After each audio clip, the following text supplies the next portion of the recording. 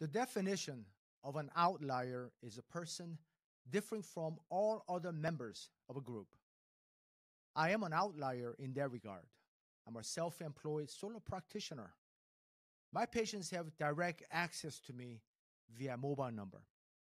I do not routinely check the cervix in the third trimester. I do not induce labor unless medically necessary. I will wait until 42 weeks for labor. My patients may stay home up to 24 hours after breaking water unless the GBS screen is positive. I believe in laboring down. I do not perform episiotomy.